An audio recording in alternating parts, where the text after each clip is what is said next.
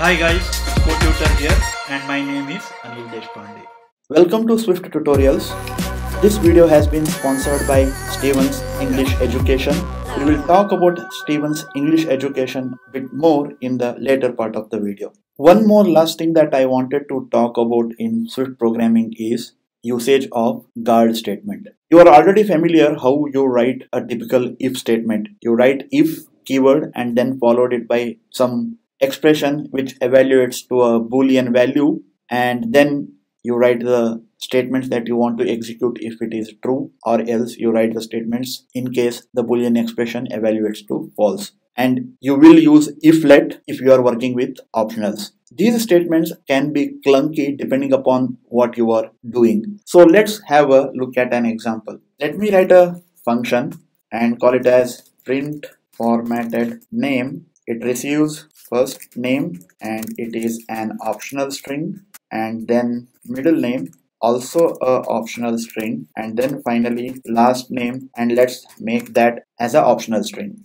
And inside what we basically want to do is we want to check whether all of these are not nil and then print the name appropriately otherwise print a proper error message. If first name is not equal to nil and middle name is also not equal to nil and check for the last name is also not equal to nil. In that case, print the first name followed by a space, then the middle name followed by the space, and then finally the last name. Else, we will probably just print something went wrong. I am getting a warning because all these are optionals so I will have to force unwrap it. And uh, now let me invoke this particular function print formatted name Anil V Deshpande. And as you can see here it is getting printed properly.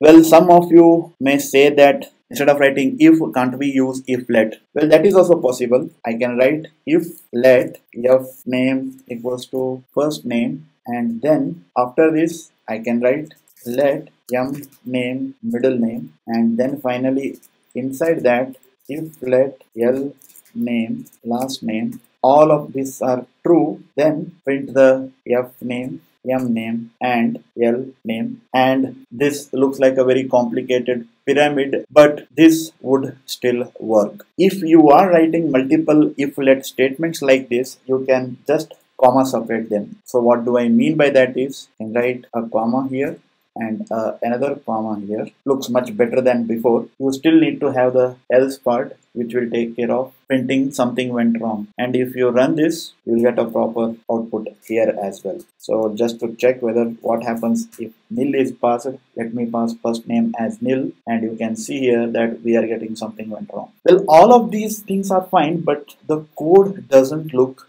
elegant. You are writing very complicated if else statements, but at the end of the day, you are just checking one simple thing that these values that I am passing inside first name, middle name, and last name do have some expected value. In this case, you don't want them to be nil. So when the intention is all to check whether a particular condition has been satisfied, writing these very complicated if statements becomes very inelegant. And that is where guard comes into picture. I can rewrite the same functionality with guard in a much more better way. This video has been sponsored by Stevens English Education. If you think you are in need of a one-on-one -on -one personalized English teaching lessons from a professional teacher, then you are in for a useful information. Well, regardless of whether you are a developer or not, communication and articulation skills are most important skills that you will need to develop. Dustin Stevens, who is the owner of the website Stevens English Education, is a professional teacher who provides various teaching services services to the students, professionals, and business executives. He has been doing it for the long time, and you can actually go to his website and see for his credentials. For the students, he helps them prepare for exams like IELTS, TOEFL, CELPIPS, SSAT and SAT and state exams. So he offers a lot of services if you want to improve your English language. you can go to another link where you can schedule a one hour trial with him and then if you really want to go ahead and book the services you can actually use the referral link provided below. You will get a $25 off when you click on this particular link and register yourself with lessons with him let's get back to the tutorial. So let me write another function. Let me call it as function modified print formatted name and let the argument list be same. And inside instead of using if let I will write guard first name is not equal to nil. What I am actually doing is I am just guarding against all these possibilities. And then I will just write else something went wrong. And I will write return and outside I will write print first name middle name and last name. You might be wondering what is the difference? Well, the main difference is a guard statement will be written in such a way that you will not write what should happen if the condition is true. So in the previous case, we had written the statement in line number 5 which would get execute if the condition is true. But however, in the guard, we are not telling what needs to happen if the condition is true. We basically don't care. If the condition is true, we will just move on. In this case, if the condition is not true, we only write else part and inside the else part, we typically throw an error or print some kind of an error message and then just return. If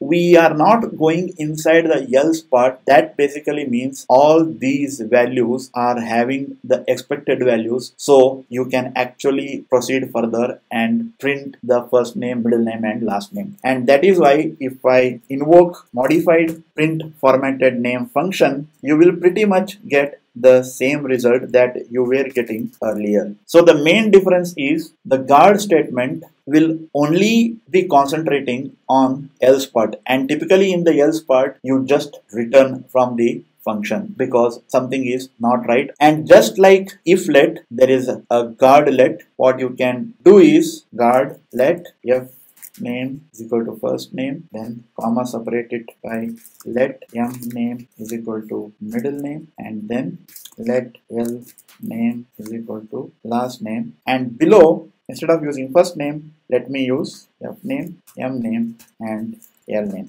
and this will also give you same result. You might be wondering what is the difference between this if let and this guard let. There is a major difference. The difference is whatever that you define in the if let that is f name, m name and l name the scope of these values is only inside if statement. If you try to print this f name, m name and l name outside the if statement, you will get compilation error. Basically saying that they are unresolved identifiers because the scope of this f name, m name and l name is not beyond this if statement. However, that is not the case in case of guardlet. I can write f name, m name and l name outside the guardlet. So these things will become accessible down further below in the code. So usage of guard makes it possible to write very elegant code in your Swift applications. So with this, all the topics that I wanted to discuss in Swift programming language beginners course has come to an end.